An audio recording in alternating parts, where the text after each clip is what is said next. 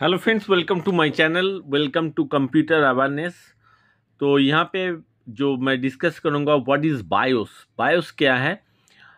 BIOS का full form पहले जान लेते हैं। बायोस है बेसिक इनपुट आउटपुट सिस्टम ये सॉफ्टवेयर है कि हार्डवेयर है? Obviously this is a software BIOS is software built in to a computer when we switch on the computer, the program is operated. तो कंप्यूटर सबसे पहले हम जब स्विच ऑन करते हैं तो जो सॉफ्टवेयर पहले चालू होता है that is the BIOS BIOS is the first program ठीक है? This program is housed in read only memory that is ROM and in placed on the motherboard ये मदरबोर्ड के ऊपर में एक्चुअली प्लेस्ड रहता है.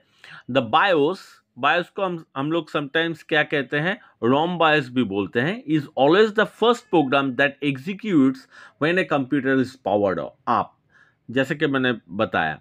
और BIOS is stored on a chip on the motherboard next BIOS का और भी बहुत सारा नाम है। Alternately called ROM BIOS PC BIOS and system BIOS it also manages data flow between the computer's operating system जिसको आप ओएस बोलते हैं and attach device attach devices means जो भी एटच डिवाइस है कंप्यूटर के साथ कनेक्टेड है such as the hard disk video adapter keyboard कह सकते हैं माउस कर सकते हैं प्रिंटर कह सकते हैं.